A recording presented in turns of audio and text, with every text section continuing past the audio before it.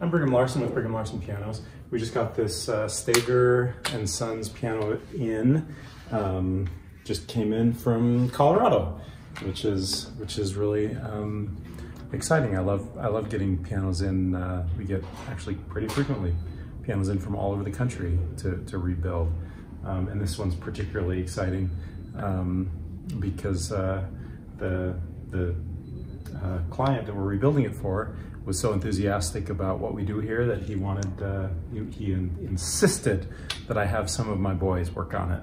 Um, my sons, that is when I say my boys. So, uh, so it's gonna be a fun project to do for him. So, uh, Steger and Sons, um, the year, uh, I haven't looked it up, but just by looking at it, I'm guessing it's somewhere um, pre-1910, probably 1900, 1910, somewhere in there. Uh, so let's just have a look. Well, actually, why don't we why don't we get a, a shot of the cabinetry first? Um, we've got some some pretty severe water spots, damage on the top, and then uh, just kind of looking around. Uh, the, the pedals and the harp pedals have a lot of wear. Um, of course, the uh, as usual, there's some some pretty severe damage on the front there. And then of course in the on the on the key slip and um, it looks like overall like it's been relatively well maintained. It's just been it's just 100 years old, well, well even more. Okay, make sure that doesn't slip off. Sometimes the hinges here don't have pins in them, so when you lift it up, it just slides off to the back on these older pianos. Out for that.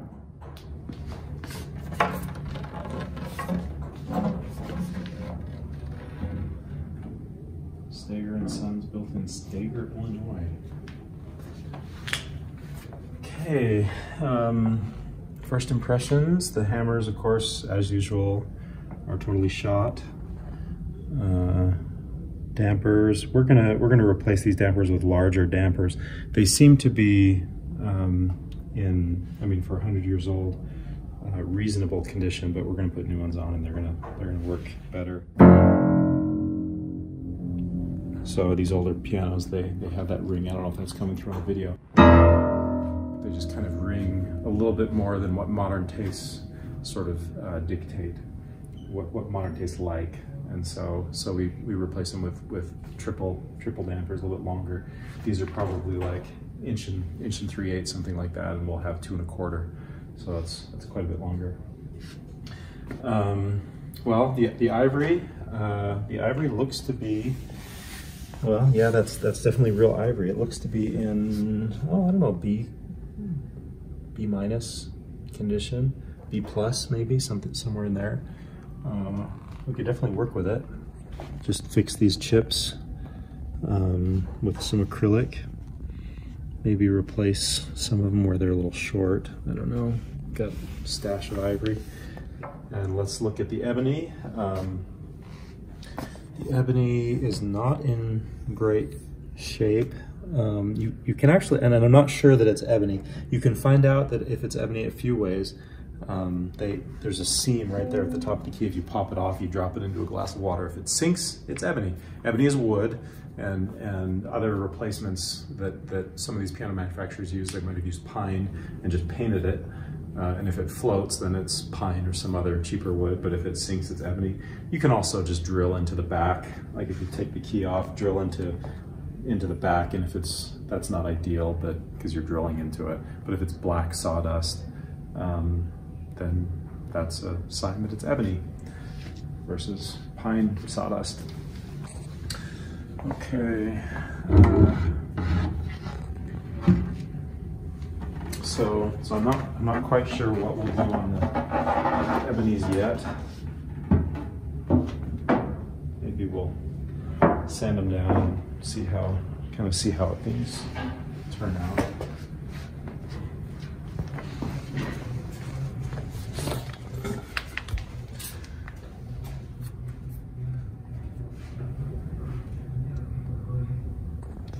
Some little hairline cracks all along the speaking side of the bridge. The apron looks pretty good. Soundboard. Soundboard actually looks pretty good. I'm pleased with that. We'll we'll end up refinishing it. We'll also refinish this plate. Um, that'll look really nice. Look like brand new. We use an automotive paint. We'll rebuild everything down there. We'll replate those those pedals and along with the other um, the other hardware. Uh, probably put new casters on there. Of course, goes without saying that if we're doing all of that work on the on the plate and everything and, the, and refinishing the soundboard, all of that, we'll obviously put on new pins and new strings. Like I said, new hammers, new dampers. Uh, I think we'll do new, uh, we'll do new hammer butts. Looks like they are Billings flanges, which is a brass, brass type of flange. Oh yeah, that reminds me I need to play it. Bridges.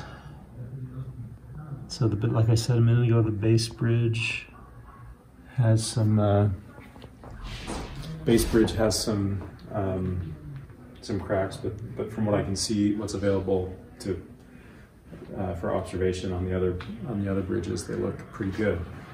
So, uh, yeah, let's just, let's just listen to it.